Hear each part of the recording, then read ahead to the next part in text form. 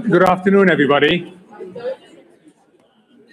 My name is Mohamed El-Erian. I'm the president of Queen's, and I want to welcome you to Queen's and to this very special event. This annual law lecture is sponsored by Mr. Nestor and Mr. Zuckerman, both of Redress Resolutions. They have been very supportive of Queen's in many other ways, and we are very grateful for your support. And you will hear more about this, including the prizes they support later on from my friend, my colleague, and the Life Fellow of Queen's, Professor Richard Fentiman. So as I ask Richard to come to the stage, can I just ask you to join me in thanking our wonderful sponsors? Thank you.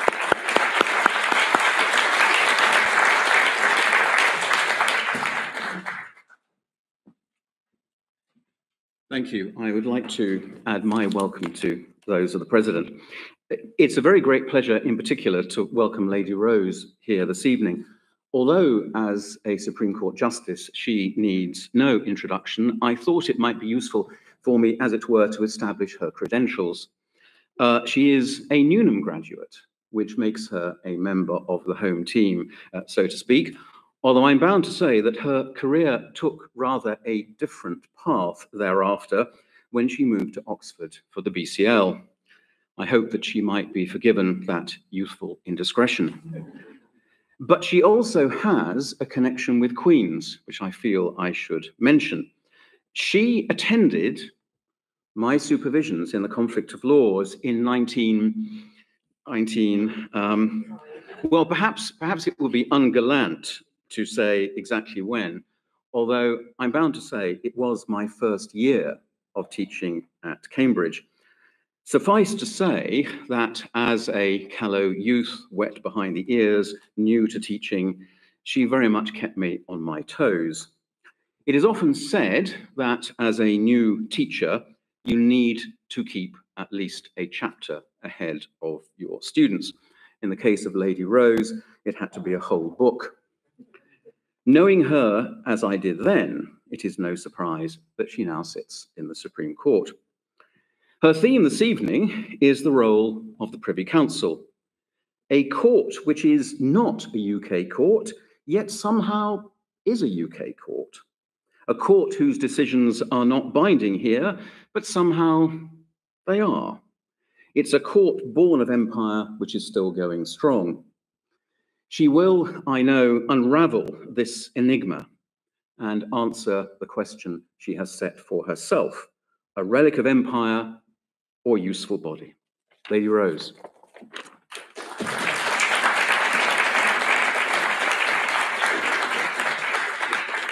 Thank you very much for that gallant introduction. Uh, I'm very delighted to be here this evening and uh, uh, to speak about the work of the Privy Council. Uh, the Judicial Committee of the Privy Council, commonly referred to as the JCPC or the Board, has been described in its modern form as a unique body, akin to an international court, a court that nobody starting afresh would design, a relic of empire, or a valuable selling point for the jurisdictions it covers. I would describe it for the purposes of this evening's lecture as an evolving institution generating important case law. The breadth of the JCPC case law is wide, from a dispute about the letting of a church pew in Montreal in 1877 to a stonemason's employment rights in Hong Kong in 1990. Each JCPC case comes with its own local flavour.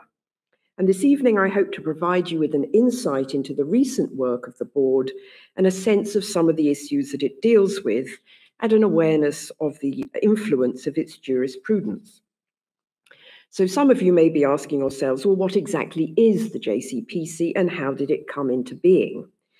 It's a court of final appeal for the UK overseas territories and crown dependencies and for those Commonwealth countries that have retained the appeal to His Majesty in Council, or in the case of republics, to the Judicial Committee itself. It used to be housed in 9 Downing Street, but today it shares a home with the UK Supreme Court in the Middlesex Guildhall on Parliament Square in London.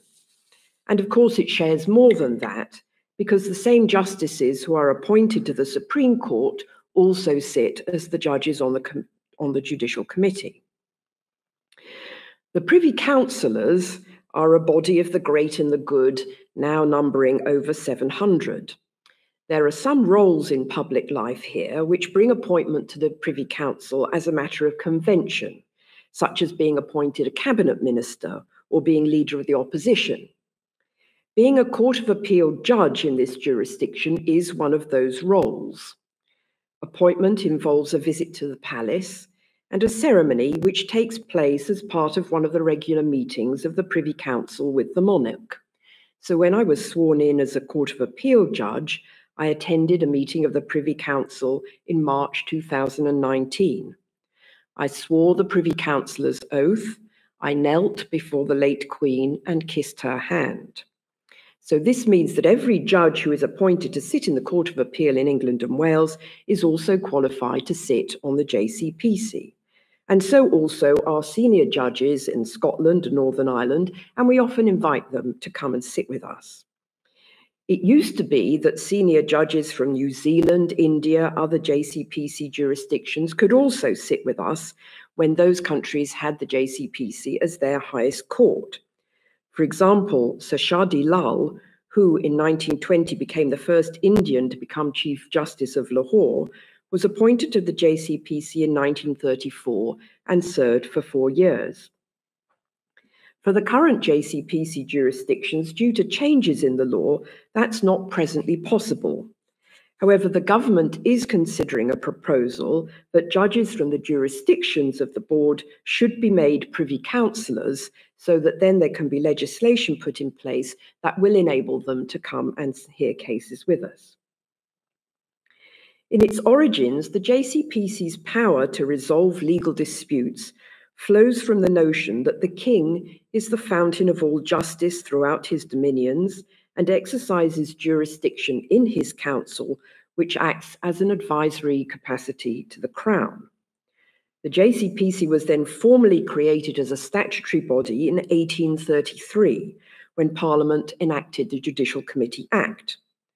The powers of the JCPC are largely limited to making a report or recommendations to His Majesty in Council. We humbly advise His Majesty either to allow or dismiss the appeal, and the King subsequently makes the appropriate order at a later Privy Council meeting. But there are some republics who have still retained the use of the JCPC but do not have the King as their head of state, those are Mauritius, Trinidad and Tobago, and Kiribati, and their appeals are directly to the board. In the 1930s, the JCPC was said to be the final court of appeal for more than a quarter of the world. Over the last century, there's been an inevitable decrease in the extent of its jurisdiction, with many of the countries establishing their own apex courts. Appeals from Canada and India were ended in 1949, with Australia, Hong Kong, and New Zealand following in 1986, 1997, and 2003. The last Canadian case heard by the Privy Council was in 1960, despite appeals being ended in 1949. This was because cases which had already got going prior to the legislation abolishing appeals to the board were allowed to continue on their way. The last case concerned an oil drilling project. The statement of claim in the matter had been issued on the 5th of December 1949, and the Act came into force, making the Canadian Supreme Court the exclusive final appeal court a few days later on the 23rd of December.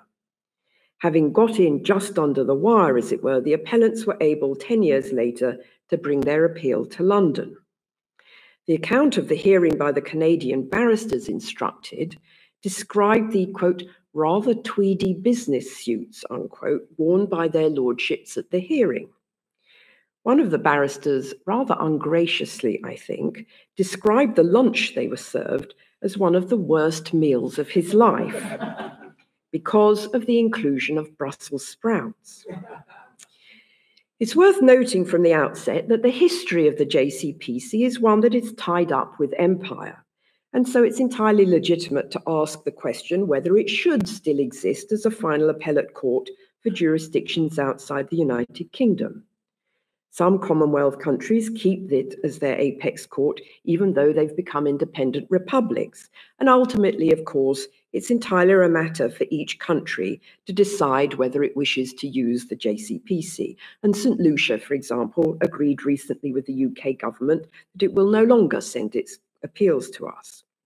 But we do continue to hear appeals in both civil and criminal matters from Commonwealth countries like Antigua and Barbuda or Jamaica, from crown dependencies such as the Channel Islands and the Isle of Man, and from overseas territories such as the Cayman Islands, Gibraltar, and the Turks and Caicos. And they keep us busier than you might think. In 2023, the JCPC delivered 44 judgments in 47 cases, the discrepancy being because some of the judgments were delivered for conjoined cases. For comparison, the number of UK Supreme Court judgments delivered in 2023 was 52. So last year, we delivered nearly the same number of Privy Council judgments as Supreme Court judgments. The appeals are certainly not evenly distributed among the different jurisdictions. Last year, almost a third of the cases brought were from Trinidad and Tobago, but other jurisdictions such as the Pitcairn Islands or St. Helena only send cases to us very uh, occasionally. For the Commonwealth countries that use the JCPC, the right of appeal is regulated by the Constitution and the legislation of that country. In most appeals involving Commonwealth countries, appeals come as of right from citizens, which means they don't need to obtain permission to appeal either from the court that they're challenging or from us. Sometimes the right is dependent on the value of the claim, but the money figure has not kept pace with inflation. According to Section 110A of the Jamaican Constitution, you would have an appeal as of right from decisions of the Jamaican Court of Appeal where the matter in dispute is of the value of a thousand Jamaican dollars or upwards, and that's currently just over five pounds sterling. Where no as of right appeal exists from the country, the JCPC has to consider whether to grant permission. For civil appeals, the test is the same, really, as the test for applications to appeal to the Supreme Court. That is, whether the appeal raises an arguable point of law of public importance, which ought to be considered at this time. And for criminal appeals, the test is whether there is a risk that a serious miscarriage of justice is concerned. So the cases we hear cover a huge range of topics. Some from jurisdictions which operate as tax shelters raise important issues about trusts or insolvency law. Other appeals raise questions of constitutional significance. Constitutional cases often require us to grapple with complex issues, including the death penalty, LGBTQ plus rights, and most recently the constitutionality of anti-money laundering legislation.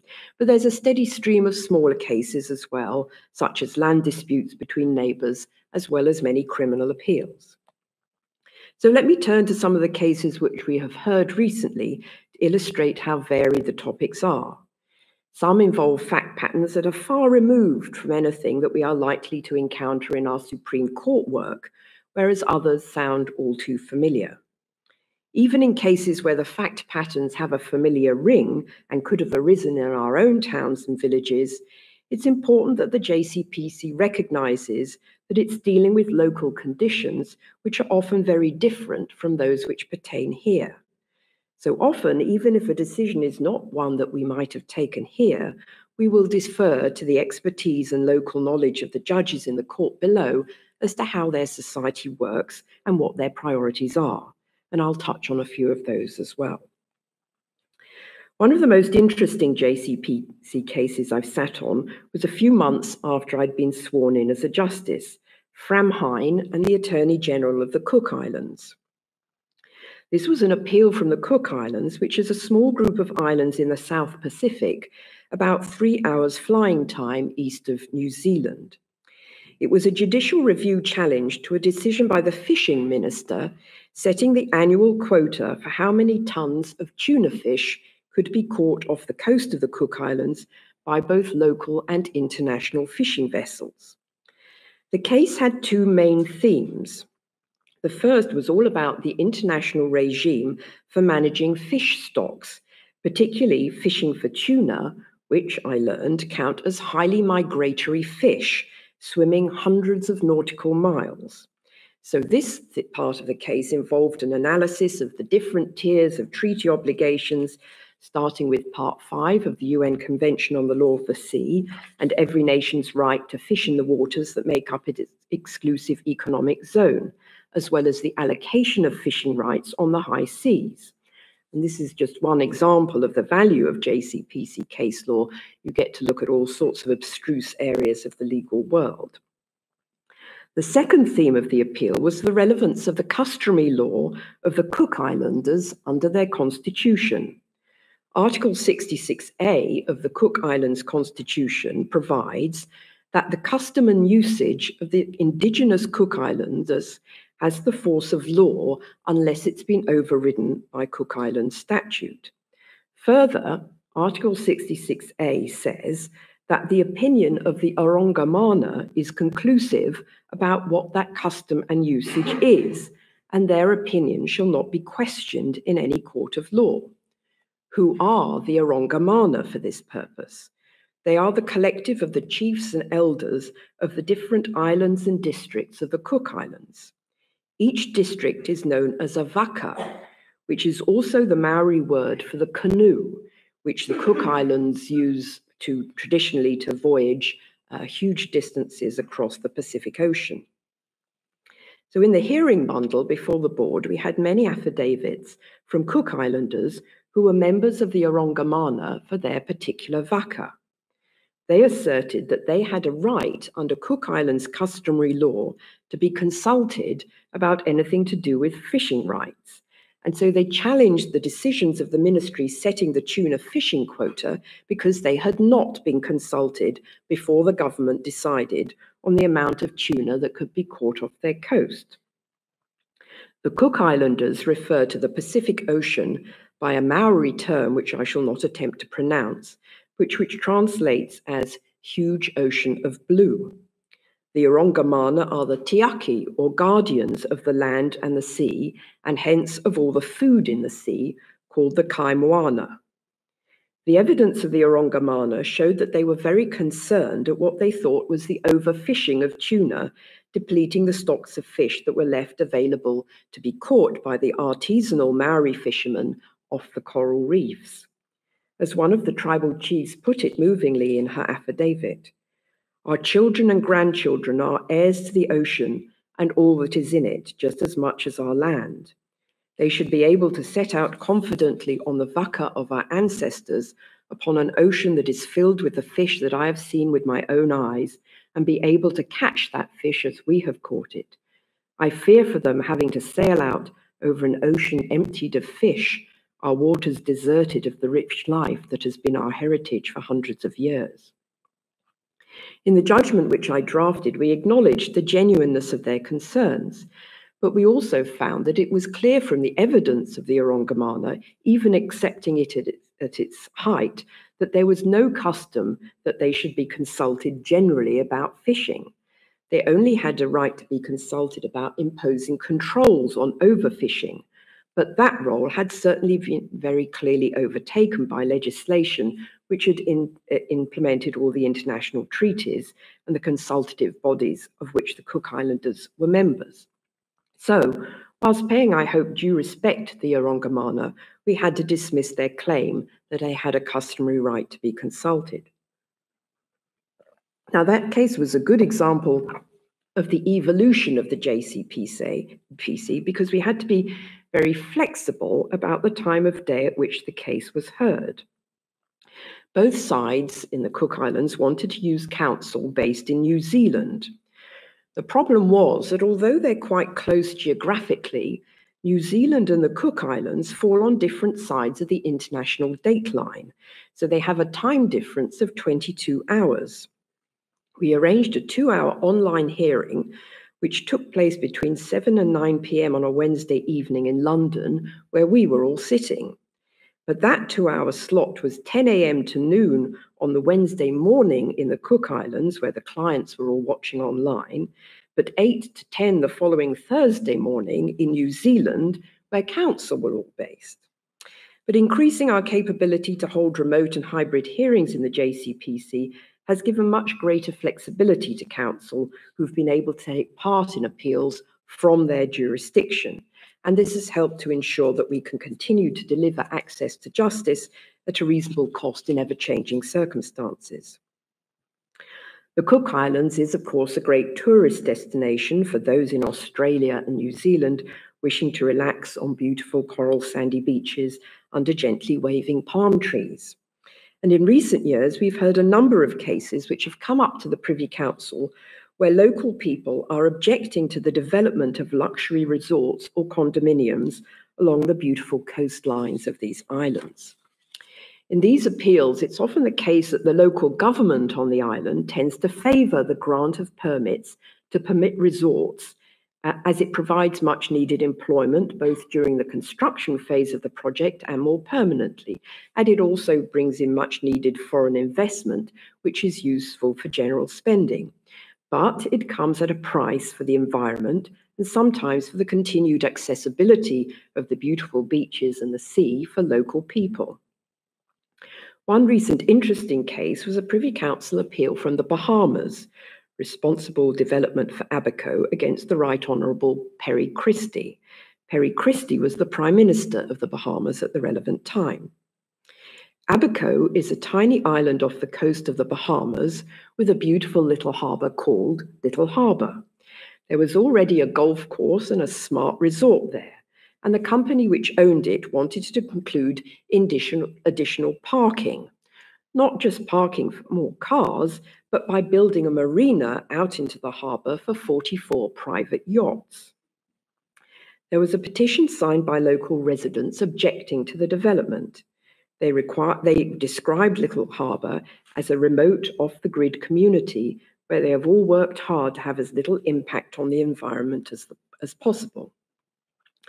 The case raised an important point about costs, which, although on its face is rather technical, required the board to address some important issues about public interest litigation involving the environment, something I know which would have been of particular interest to Emily Webster, who I know was a much respected environmental lawyer. And this can also be highly relevant in similar environmental challenges in England and Wales. So, if a defendant on the receiving end of a legal claim is concerned that the claimant will not have enough money to pay its cost if the claim fails, the defendant can apply for, to the court for an order for security for costs. If security for costs is granted by the court, the claimant can then only proceed with the claim if it first produces a certain amount of money up front, paid into the court's bank account to cover any potential costs order made against it at the end of the case. Now, if the claimant ultimately wins the case, then of course they get the money back. But if they lose, that money is then available to cover the winning defendant's costs.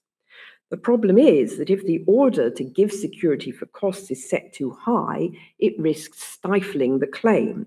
And if it prevents the claimant from being able to bring the claim at all, then that raises access to justice issues. So the claimant in this Abaco case was a Bahamian company which was challenging the government's grant of permits for the development of the marina.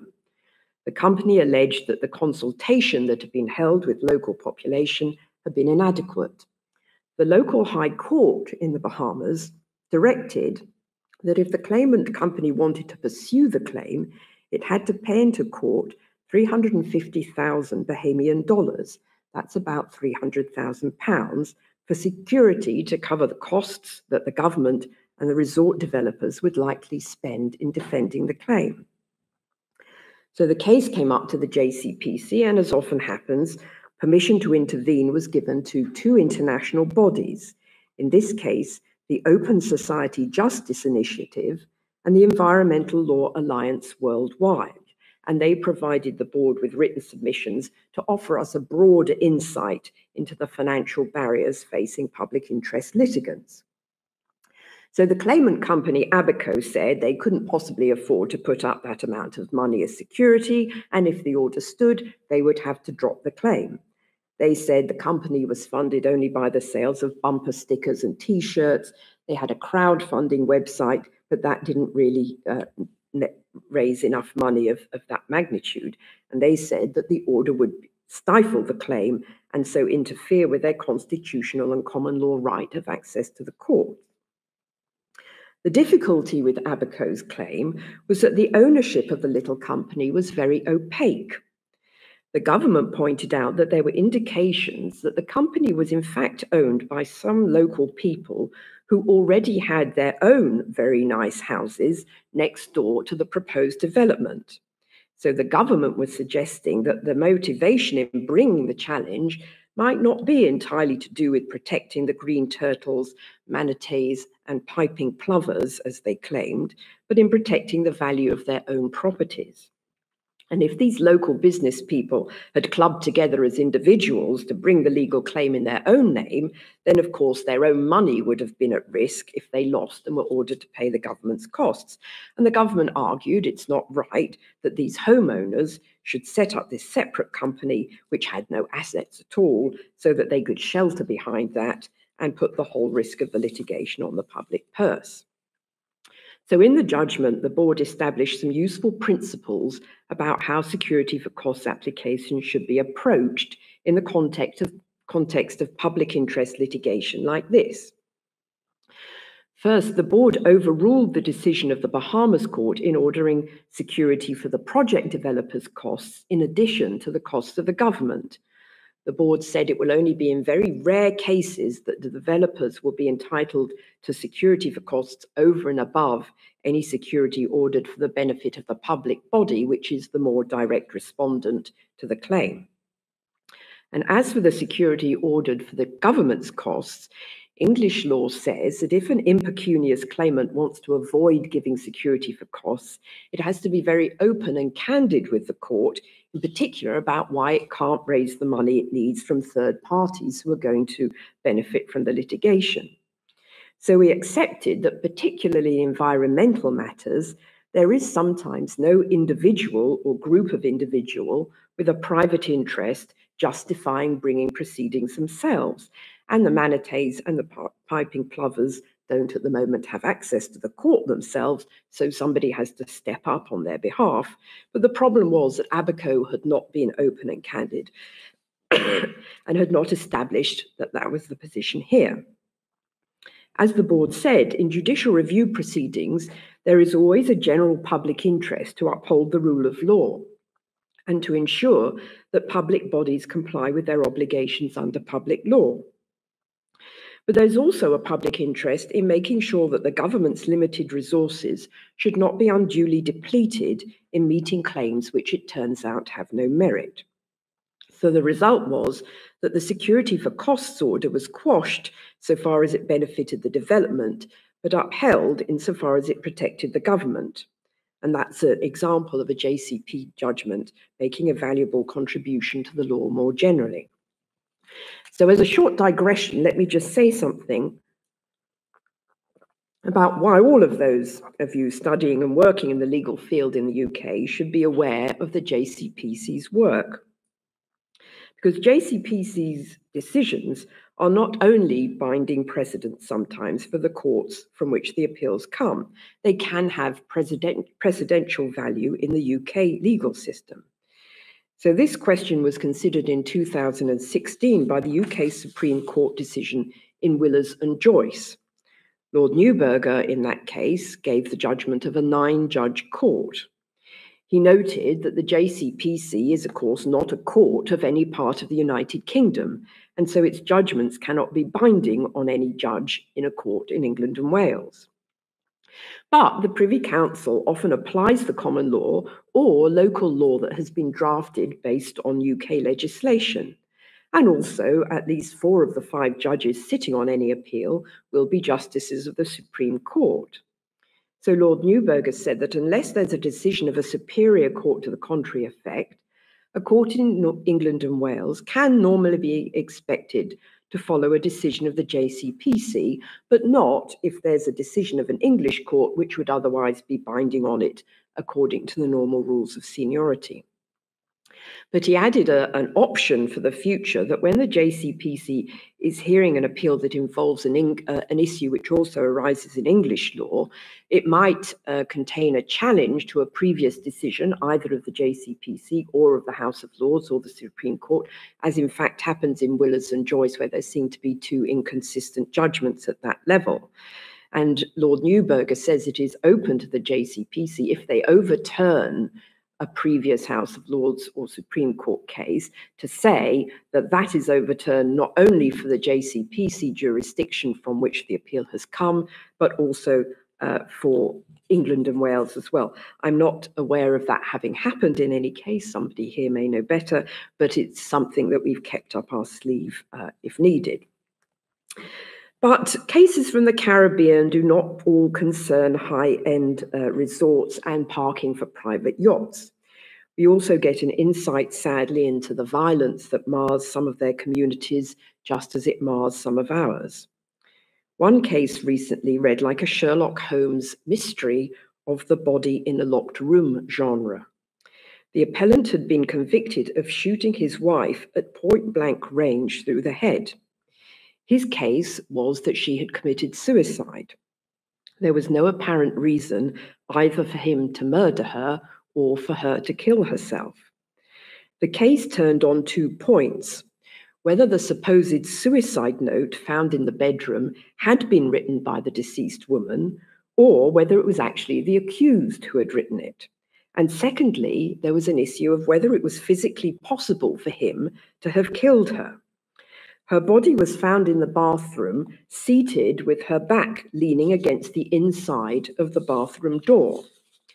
The forensic evidence was that given the position of her body, it was impossible for him to have shot her in the bathroom, then left the bathroom through that door against which she was leaning, and then to have run into the sitting room where there were people a few seconds later after the shot was heard but without any blood on his clothes.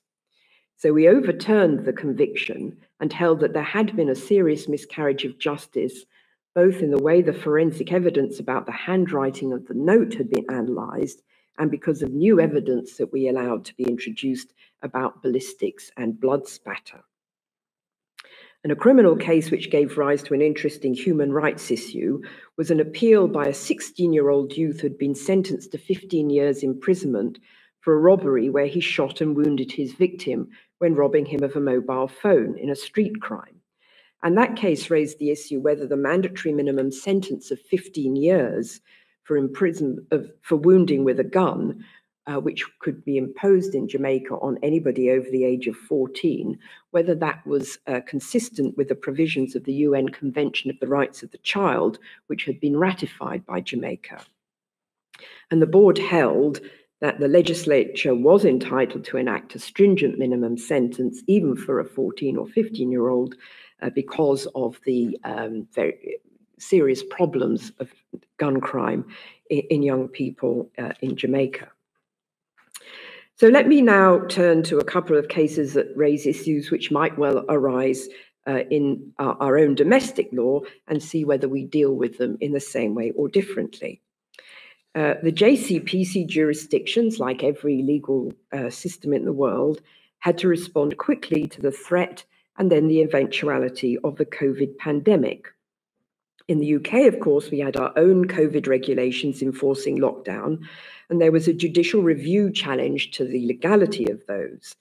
In the Queen against Dolan and the Secretary of State for Health and Social Care, the English Court of Appeal, presided over by the then Lord Chief Justice, considered a challenge to the restrictions imposed in lockdown in England, and that challenge was dismissed by the Court of Appeal, and the uh, validity of the regulations was upheld.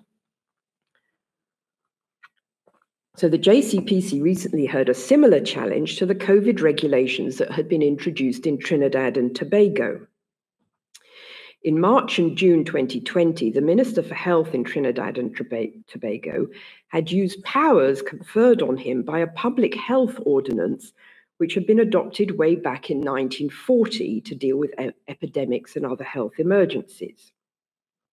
One of the restrictions imposed was to prohibit gatherings of more than five people without reasonable justification. And the regulations also prohibited gatherings of more than 10 people for religious worship unless they complied with guidelines issued by the ministry. In Suraj against the Attorney General of Trinidad and Tobago, Mr. Suraj challenged these laws because he had been prosecuted for being at a party where there had been more than five people. And another claimant to Mr. Maharaj was a Hindu Pandit, and he challenged the limit imposed of 10 people attending religious gatherings. Because of the provisions of the Trinidad and Tobago Constitution, the case was not as straightforward as the English equivalent challenge in Dolan.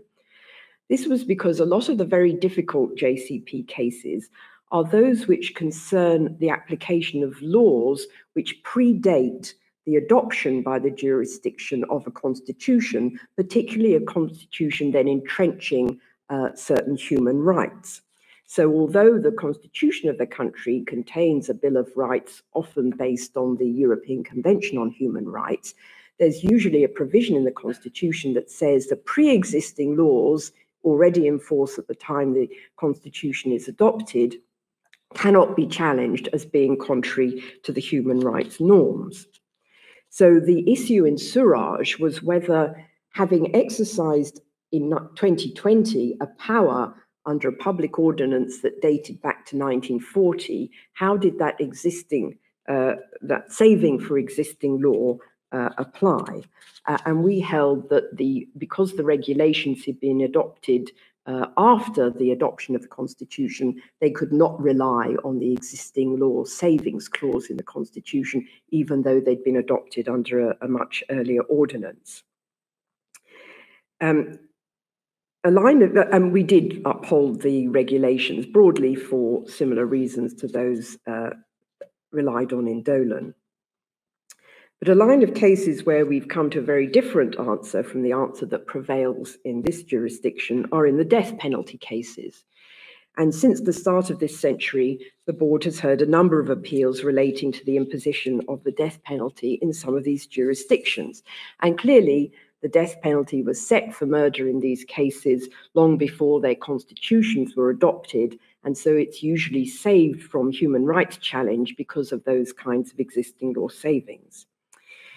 So the developments uh, recently were reviewed in 2022 in Chandler and the, and the state, in which it was held that the mandatory sentence of death is lawful under the Constitution of Trinidad and Tobago.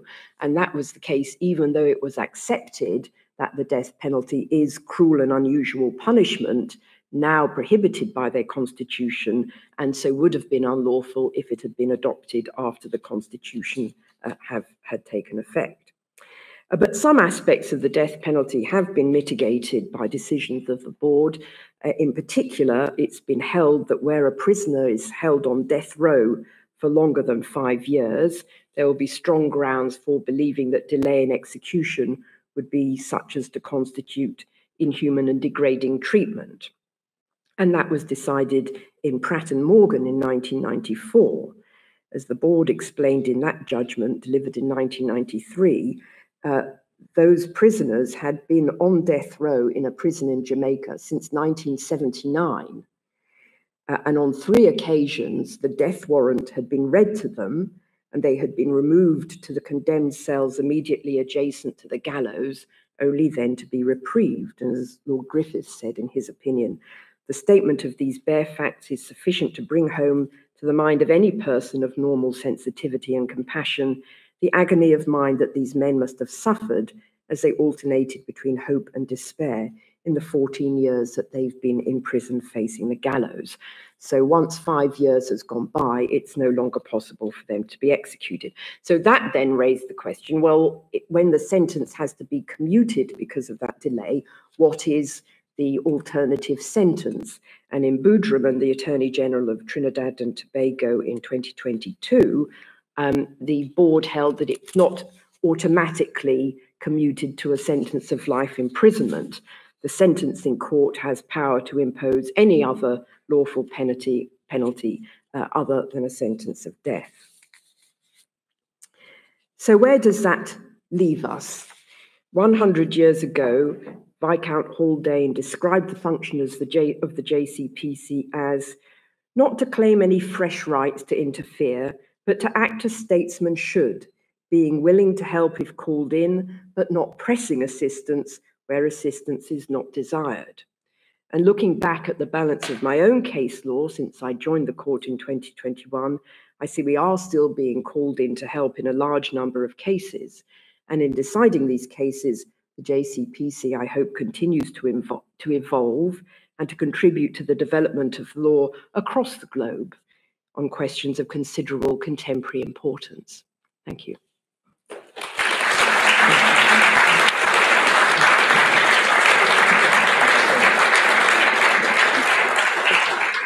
I must say that was magnificent.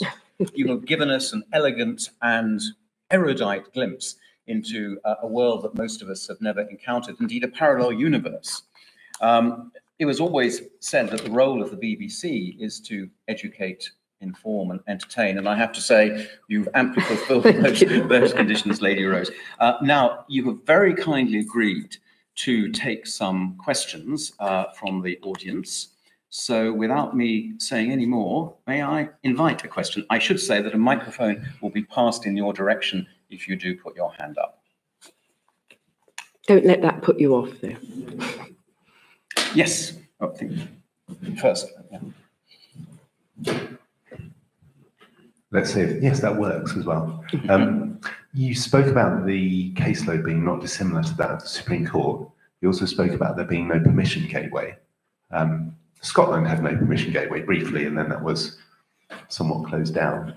Um, do you end up with many cases that you wonder whether it might be dealt with better by a different court, or actually are they mostly cases that it you were very happy to deal with? Uh, there is, even with cases which have an appeal as of right, we do have a filtering mechanism which was decided some time ago, which is if the case is absolutely without merit, then we can dismiss it without having a hearing. Um, until quite recently, what used to happen was rather unsatisfactory, which was that the appeal would come up, five of us would prepare for it, we would all meet up in the morning and say, This is completely hopeless. Um, and then it would take sort of half an hour when we would say to the appellant, Look, you know, what are you saying? And we would chuck it out. And that was a waste of everybody's time. So we've now introduced a mechanism whereby there's a sort of triaging of appeals as of right. Uh, and if somebody uh, thinks that it might actually not have any merit, um, then it goes to it goes to a single justice the parties are written to saying that the board is minded to dismiss this appeal uh, unless you can persuade us otherwise. We receive written submissions, and then a board of three justices will decide whether to, to knock it out. Um, the most common reason is um, that what they're seeking to challenge are findings of fact that were made by the High Court. They were upheld by the Court of Appeal saying the High Court judge saw the witnesses and has made a decision as to who's telling the truth. The Court of Appeal is not prepared to interfere with it. We're not going to interfere with it. So those do quite often get knocked out, even if they are an appeal of, as of right. That's a very British solution. and none the worse for that. I, yeah. I, see another couple of hands. There was a hand, I think, in the middle, or we can go. There's this yes. person yes. there. Yeah. yeah. I can shout if that's better. I'm halfway there. Yeah.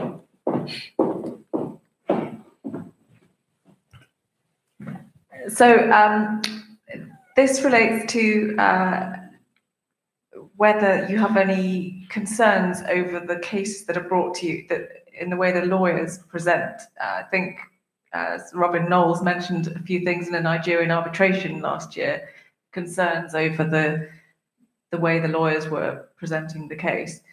Do you ever come across similar difficult situations? Uh, the lawyers are partly London based lawyers and partly local lawyers. Um, obviously these cases are being fought here for hundreds of years, uh, and there is a group of lawyers in a couple of sets of London chambers which very much specialise in doing these Privy Council cases, and they are as good as or as bad as the general run of counsel that we have, and they still seem quite often they still seem to be retaining that work. Uh, but of course, since COVID pushed everybody to be more hybrid, uh, we now do have um, uh, from uh, the local jurisdiction, and we do make uh, allowances for that, particularly if they're from the uh, Caribbean. We usually sit from one till four, so they don't have to get up at the crack of dawn. Um, and I've not experienced particular concerns. Uh, we do get, of course, the top of the profession, um, and uh, yeah, usually they're they're very good. Um, they are, of course, all qualified under a system which is partly modelled on our system. So I'm, I, you know, some of them are not terribly good, but some barristers in England are not terribly good either. It's surprising how that is the case. Um, uh, they must be good at other aspects of the job, I always think, if I'm being kind. But um, so uh, I've I've not I've not encountered a particular problem. Thank you. James. Um, thank you very much for your lecture. Uh, um, it seems to me you've put out a very convincing case that uh, that there's huge value in this, and that Lord Haldane's um, description of the role that you described still stands.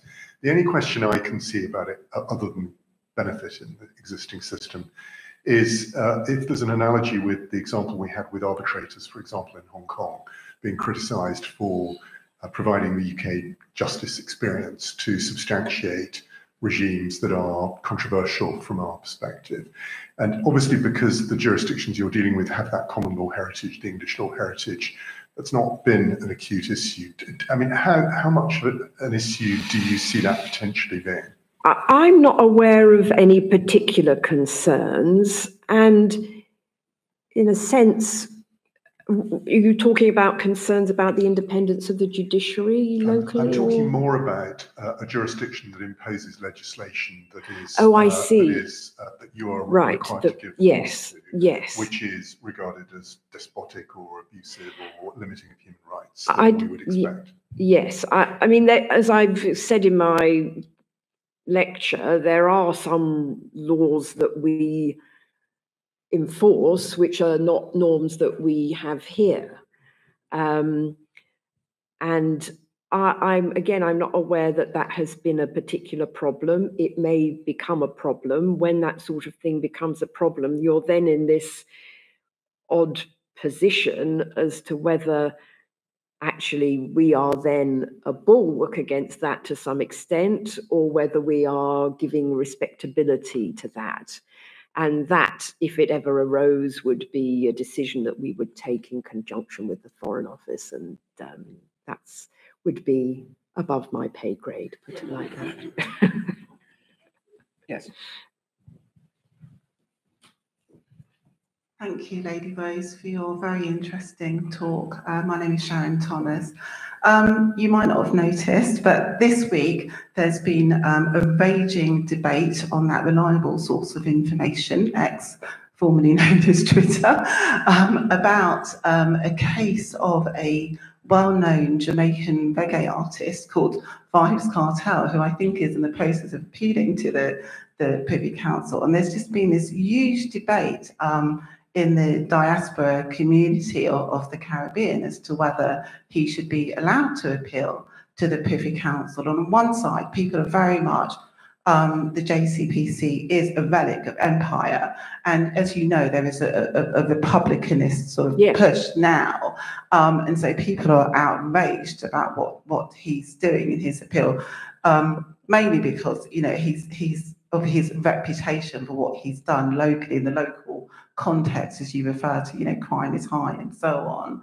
Um, but a lot of the other comments were saying um, that the local judiciary, or at least people feel that um, local members of the judiciary are exposed to um, well, potentially exposed to corruption. I mean, I don't know how it's true. It's just what you know people say. So that's very much the debate that's raging at the moment. And I was just thinking, you know, there is a Caribbean um, appeal court, Mm. and do you think at some point the JCPC might just say, well, look, we don't want, we don't need to be involved as the ultimate court here because you have your local regional court there. Um, two points to make about that. I know that there is this controversy in Jamaica more generally um, about the continued use of the JCPC. And in a rare move, the the president of the Supreme Court did actually write to a local Jamaican newspaper to correct some points that it was felt were were slightly misleading, uh, saying, for example, there have been an article saying, oh, you have to use local London counsel and it's all terribly expensive. And, and so the court wrote a letter um, to the newspaper saying, no, that's not true. We do have hybrid hearings. You can use local counsel if you want. That's whatever reasons there are for not continuing to use the, the council, that's not one of them. Um, for a lot of these uh, countries, the continued use of the Privy Council was part of the overall negotiation for their for decolonisation, um, and so it was it was something that was part of the structure that was put in place in their constitutions as part of the negotiations for them ceasing to be colonies or becoming republics or whatever. And I think because it was regarded as something at that stage that they definitely wanted and that we were prepared to provide, I don't see us ever initiating moving away from it. We will, as far as I'm aware, we will do it for as long as anybody wants us to do it. Of course, the caseload varies when it had India and New Zealand and Canada. Of course, there were many more cases, presumably, but as long as there are some jurisdictions that want us to do it, um, then I think we will. I think maybe just one more question. I think, and I think that, uh, sorry, if I could just add to that, I think what the president said in the letter that he wrote is that we consider it an honour to be able to hear these cases, and uh, that's certainly something I feel, as well as finding them fascinating and enjoyable to sit on. Lady Rose, I'm intrigued by the appointment process, and it sounds as if it's automatic when you become a Court of Appeal judge. Mm. And indeed, I hope that uh, an old Queensman who's Secretary of the Privy Council, Richard Tilbrook, I, I trust that he's involved in bringing you forward to kiss the Queen or King's hand.